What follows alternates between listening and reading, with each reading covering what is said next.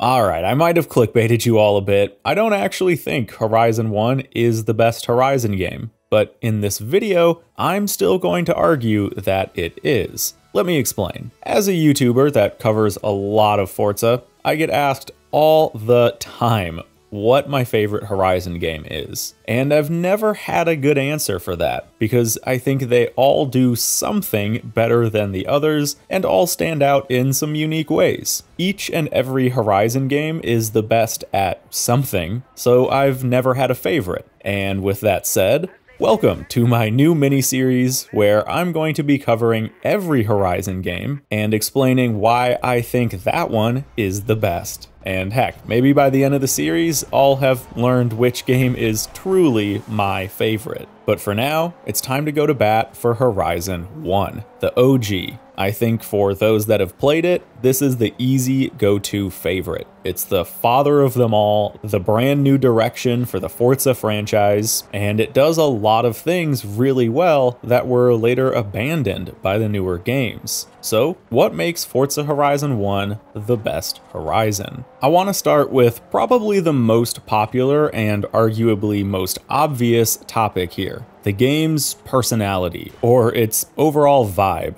Horizon 1 overflows with character in a way that really all the other games don't. And you don't have to look far at all to find the strong car culture energy here. This live action intro that plays when you boot up the game for the first time sets the tone right away. This is a game about modern American car culture. Big events, great music, modified cars, and good vibes. It's basically Grid Life the game, although this came before Grid Life, so Grid Life is actually Horizon IRL, and the energy keeps up as we transition into the gameplay itself, with an iconic intro from Scott Tyler, the only character to appear in all five games. He introduces us to our big rival, Darius Flint, and we battle it out in the cover car for what I think is a phenomenal first drive. And for the record, you can actually beat Darius here, but he's got that invincible plot armor and won't acknowledge your earned victory. This is then when you're tossed a little bit of a plot twist that you haven't actually been playing, well, you. Your actual player character is hanging out at the Lakeside Diner, leaning up against his VW Corrado alongside a handful of other drivers, all probably grabbing a bite before heading into the festival. And honestly, what a great way to put you as the player into an exciting, fast paced intro in a high end car, while still making sure that you as a character are starting from the bottom and have to earn your way into the Horizon Festival and up its ranks. I'll admit that all the Horizon games have really strong intros, but none of them do it quite like Horizon 1. I could keep talking about the whole roughly half hour long intro sequence and about how it goes on to introduce important, relevant characters that have real personalities and feel like real people, and how the intro further drives home the fact that you're just another competitor that has to earn their keep. But we've got more to discuss about Horizon 1's personality, and I've got some other topics I want to talk about too. So let's keep this train moving by talking about the characters, and more specifically, the rivals. This is really the only game to have rivals. Seven of them, in fact, and all of them, in my opinion, are arguably more memorable than just about any character from any of the newer games. This is for a few reasons. For one, they really exist in the world. Check out this screen at the festival site here, flipping through the Horizon Festival's most famous drivers all people you will race against. And when you do race with them, they talk, delivering some great and sometimes hilariously weird little quips and insults. As they say in America, I am going to mess you up. You'll spend time in their wristband rank, I guess I could call it, seeing them in multiple races, and then finally do a big 1v1 showdown against them to win their hero car. It reminds me a lot of Most Wanted's Blacklist, which to this day is one of the best racing game career mechanics of all time. And there's another thing about these rivals. They actually appear in the world as people, not only in cutscenes, but actually in-game at race starts. Just look at these race starts in Horizon 1. Drivers are standing by their cars or walking around, people are taking photos, there's what looks like official event coverage, and fans on the sidelines. Now, let's compare that to a race start in Horizon 5.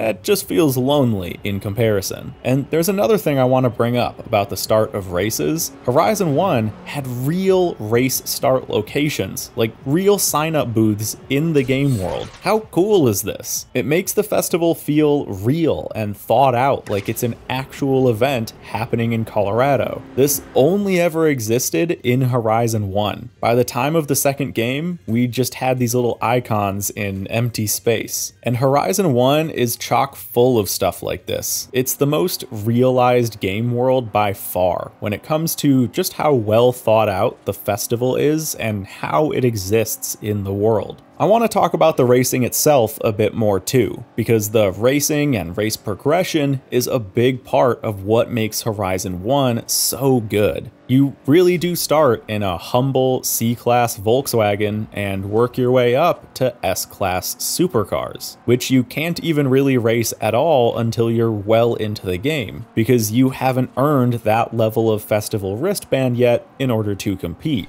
Each and every event is one event. The Brembo Midnight Blast, Recaro Rush, the G-Shock Ridge Rave. Amazing names, and all real brand sponsored races with specific car restrictions, like hot hatches only or all wheel drive only. I know I'm going back to this, but again, it makes the whole festival theme feel more realistic and meaningful. It's not just some icon on the map that you can bring any car to, you're signing up for a real race with event restrictions. And I've got to shout out the way they set the car restrictions for these races because it shows off good game design. It's not like all these car requirements are random. They're well thought out and balanced to provide a smooth gameplay flow. For example, you start in that C-Class Corrado, but you need a muscle car to compete in this event early on, and you need a Ford for this one. Well, the showcase gives you a Ford Mustang for free if you can beat it, that you can then use to compete in both of those events. And then there's an event later that needs a B-Class car, so you can upgrade the Corrado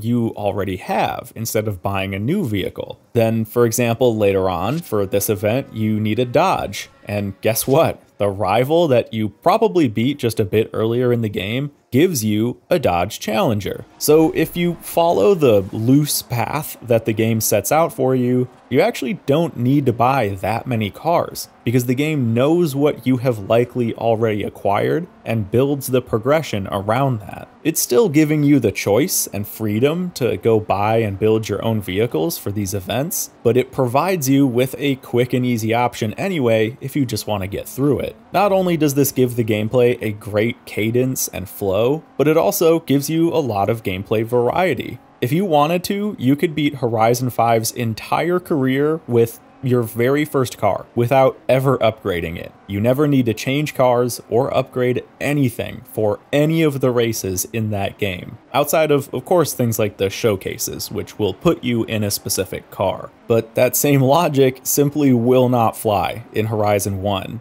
Here, you're gonna be racing and experiencing a variety of cars throughout your playthrough, and I think that's for the best. This variety and progression exists outside of the racing too, where even the skill point system is built into the core of Horizon's progression, where you start at rank 250 out of 250 drivers and then have to climb up the ladder, beating sponsor challenges and unlocking more events to earn nice cash bonuses and new cars. In Horizon 1, it always feels like you have concrete goals to work towards. You're always thinking about the cars you'll need or what to upgrade next so that you can compete in that event you just unlocked for hitting that new wristband level. There's so much real progression and variety to the gameplay, and while it never feels like it's rushing you or forcing you to push forward, it's still always there, ready to offer up a new challenge when you're ready to accept it.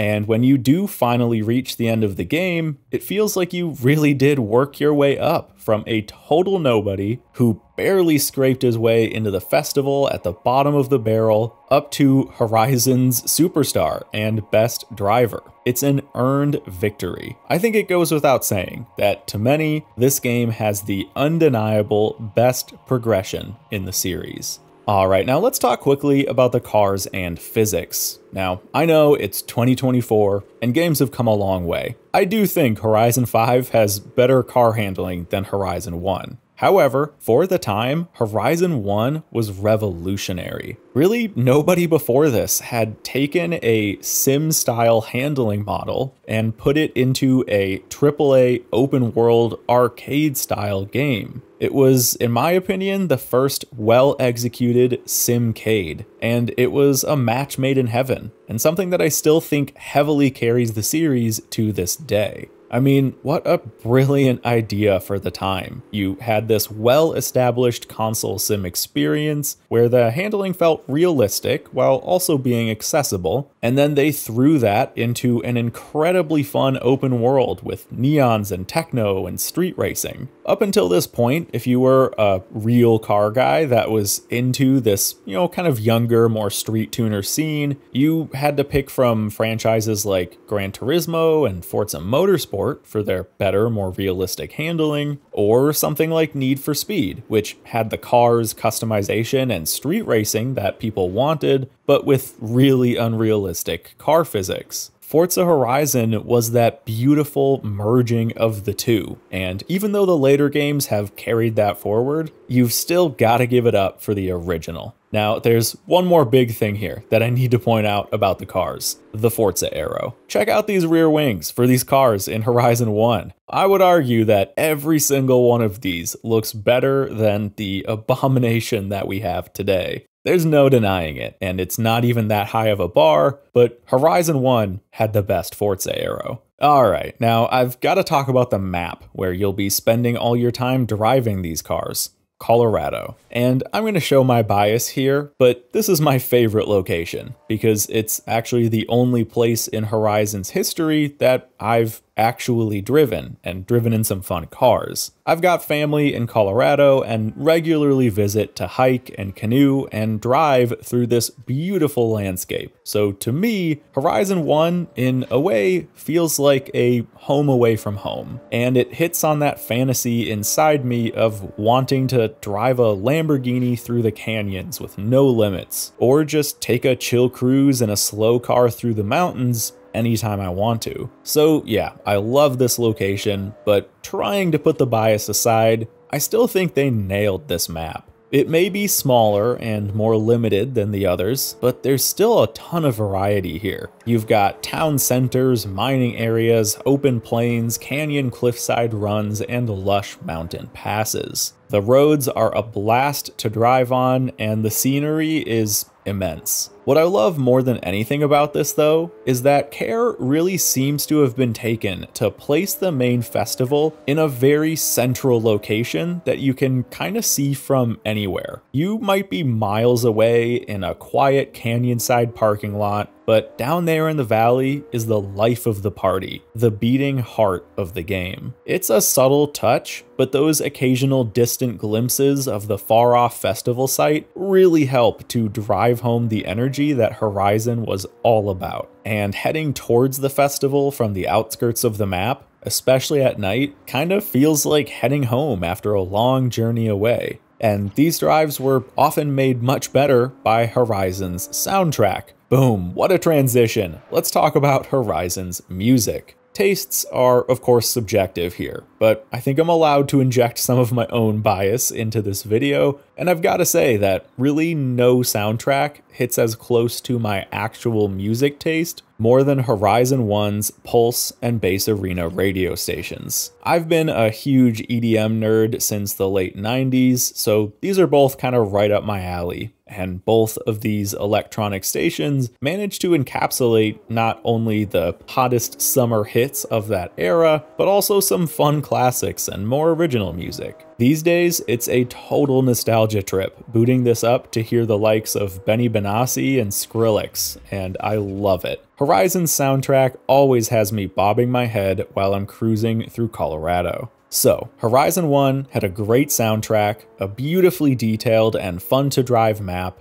a strong physics model borrowed from Motorsport, wonderfully executed gameplay progression, and an energy and feel that drives home real car culture, arguably more than any other racing game out there. Every single thing in the original Forza Horizon felt like it mattered and felt like it was fully thought out. It's a shorter and more simple experience than the newer Horizon games, but also more focused and executed beautifully. Every feature here delivers on its promise. Nothing feels half baked, and there are no compromises. Horizon 1, in many ways, feels like the most complete experience in the series. And for all of these reasons, the original Forza Horizon is the best Horizon game. But with that said, it's time to say goodbye to Horizon 1 for now and move on to Horizon 2. Thank you so much everyone for watching. If Forza Horizon 1 is actually your favorite Horizon game, let me know. And of course, I want to know why it takes your number one spot